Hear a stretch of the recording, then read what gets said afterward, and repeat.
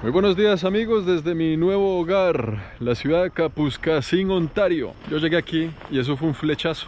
Amor a primera vista. Esto no le tiene nada que envidiar al Polo Norte, porque es que es acogedor el sitio, el sitio lo, arropa uno en esa linda ruana. La gente de Kapuskasing deja la decoración de Navidad todo el año, porque como hay nieve siete meses del año, ¿para qué quitarla?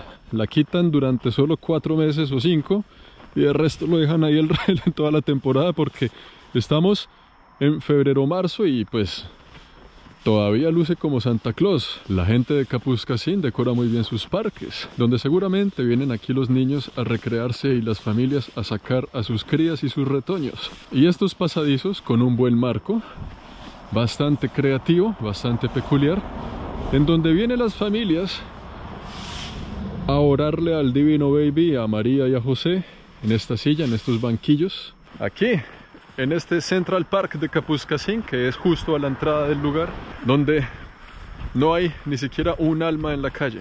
Sí son lugares bastante desolados, sí son lugares eh, con una población muy escasa, pero hay regalos, hay renos. Y como se han dado cuenta, pues también muchos automóviles.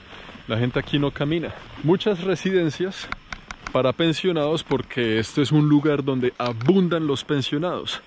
Ustedes saben que Canadá es famosa porque hay mucho pensionado y poco joven.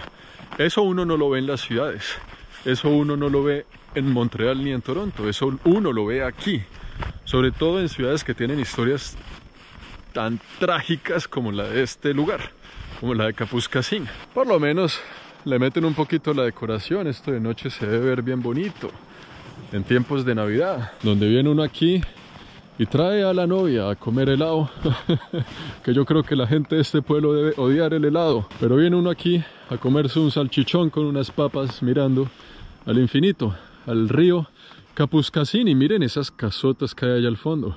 Cuando la gente tiene plata, uno con plata puede vivir extremadamente bien, así sea en Capuscasín no importa donde usted viva. Entonces, desde que tenga platica, vea esas mansiones que hay allá. Ni se ven, está muy lejos. Vamos y les muestro lo que es el downtown. Aquí a, a mi mano izquierda tenemos un eh, pequeño eh, ring para hacer ice skating, para hacer patinaje sobre hielo. Donde vienen los habitantes de la ciudad a recrearse eh, con sus familias. Y aquí al otro lado algunas casitas para que nos demos una idea de cómo luce la vida en este pueblo, pero más adelante les voy a mostrar más al detalle. Por ahora quiero que vean el tamaño de, este, de este lugar para patinar sobre hielo.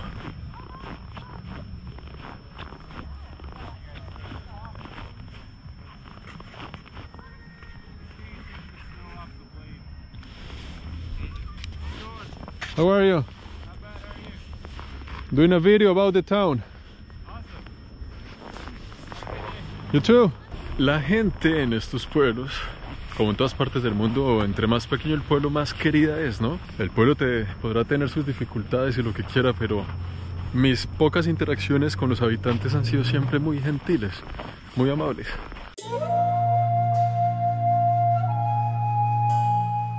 Y eso allá es la entrada al downtown. Ahí está esa puerta donde dice Kapuskasing. Y es la entrada oficial a la ciudad. Aquí también eh, hay parking, ¿no? Aquí uno tiene que parquear, estacionar el carro y paga. Como en todo downtown de cualquier lugar. Pero la vaina es que uno no sabe dónde comienza el andén para el peatón y dónde comienza el parqueadero. Aquí como que no hay andenes y uno camina pues en la calle. Bienvenidos al Cartier del Círculo al barrio del Círculo. Qué original ese nombre aquí en Capuscasín. ¿Por qué? Porque eso es una glorieta, es un round point, es un círculo. Entonces se llama el barrio del Círculo. Se sabe. Oiga, pero dejen a la gente hacer eh, skate tranquilos también. No hay mucho que hacer y lo poco que hay que hacer lo prohíben. Si se dan cuenta la bandera dice primero Bienvenue y abajo Welcome. El norte de Ontario es bastante bilingüe. Uno creería que como es la provincia anglo de Canadá, todo está en inglés, pero este lugar es muy, muy, muy bilingüe y casi todo el norte de Ontario es bilingüe. Ahí hay muchas razones del por qué, así todo esté en inglés. Hay mucho francés. Bien dormir, sleep well. No importa qué tan remoto sea el lugar, siempre habrá un restaurante chino. Joe Hong, comida de calidad fresca. Capuscasinense de pura cepa. Este es sin duda alguna uno de los edificios más grandes y representativos del lugar. Es la iglesia católica Inmaculada.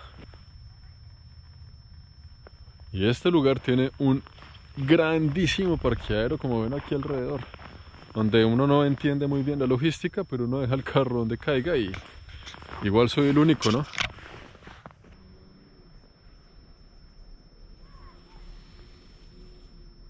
Ah, tenemos una misa ahorita el sábado a las 7 de la noche, ya en dos horitas. Y vea que el cura se llama Sebastián Grolot, apellido francés. Cuando uno vive en una ciudad como Ottawa, que es mediana, todo le queda 10 minutos. Cuando usted vive en Capuscasín, todo le queda a 2 o 3 minutos. Es impresionante. Estas son ciudades que no están muy bien diseñadas para los peatones. Todo el mundo anda en carro. Siete meses de nieve. La gente no sale a caminar mucho. He sido siempre el único que está caminando, el único que anda a pie. Y se siente una paz. Aparte del carro que va a pasar ahí por detrás, hay un silencio.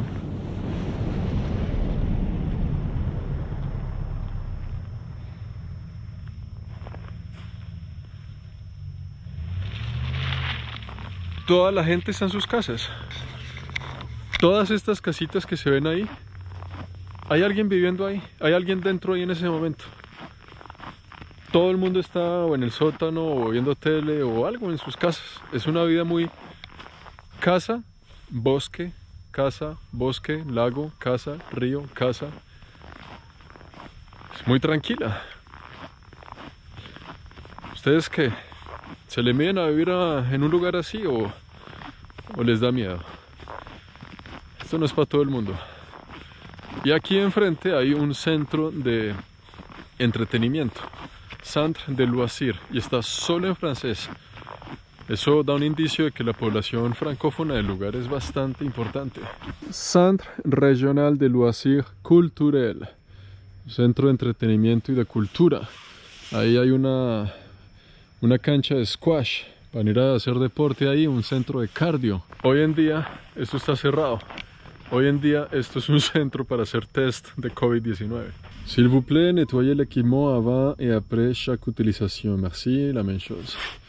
Hay centros de, de deportes, de gimnasio, de spinning, clases. COVID Testing Center. ¿Cómo han cambiado los tiempos? Este es eh, seguramente un barrio muy francófono. Entonces vamos y les muestro cómo luce mi barrio y cómo luce mi casita, mi humilde eh, morada, aquí en, en mi nuevo hogar. Dejé todo en Montreal. Mi vida la empaqué en una maleta y me fui con el ficherilo a radicarme. El semáforo está en rojo, pero soy el único. El único.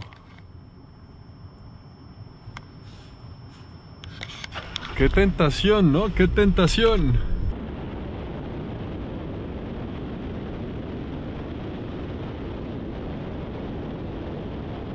Allá detrás de mí se encuentra la iglesia baptista de Capuscasín. La segunda de tres iglesias del pueblito. Y esto es la escuela del lugar. Eh, esta es la escuela, aquí viene donde estoy estacionado yo. Aquí viene el autobús, se recoge a los niños y se los lleva para sus casas. Los niños salen por aquí, por esta puerta que está completamente abierta. Eh, toda esta zona de juegos está completamente cerrada al público durante la pandemia, pero la puerta está abierta. No entiendo, Capuscasín, me confundes. Y la escuela donde vuestras crías vendrán a educarse y a recrearse si ustedes deciden que Capuscasín será su nuevo hogar. Y aquí, justo detrás de la escuela, hay todos estos automóviles, todos estos carros. Yo me pregunto por qué. Y es que resulta que aquí hay otra iglesia. Esta es la iglesia de San Patrick. ¿Cuántas iglesias son necesarias en el mismo barrio? Misa a las 9 de la mañana, los domingos también. Sábados en la tarde a las 4 y 45. están en misa en este momento. He ahí, todo el mundo está allá adentro. Ah, sí señores, es que la gente está saliendo de misa. Ah, fue madre, los agarré rezando.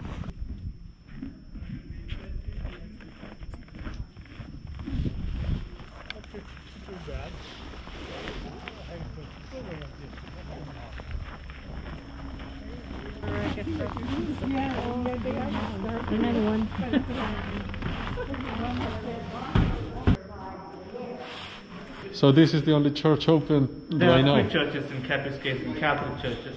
So two Yeah. French churches and one is English this one. This one is English, the other two are Two French. are French, yeah. No are pastor here. Uh-huh. Ah. You're the pastor of the church. Yes.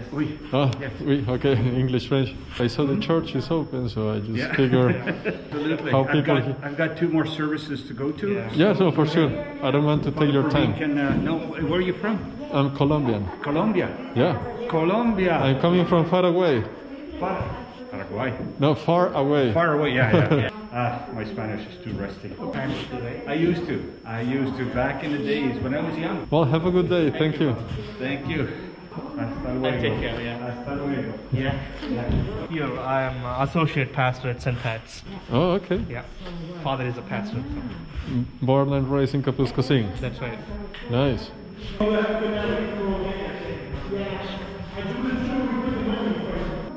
Want the lights to be on?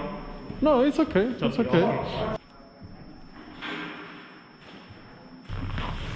Ahí está muchachos, el gran misterio que todos teníamos desde que empecé este canal. ¿Cómo reza la gente de Capuscasín? Misterio resuelto. Y este es mi barrio. Eh, como se dan cuenta son, pues, casitas al lado de casitas al lado de casitas, como cualquier barrio. Eh, si se siguen dando cuenta, no hay andén. Para los peatones simplemente es que no hay andén. Y son detalles, ¿no?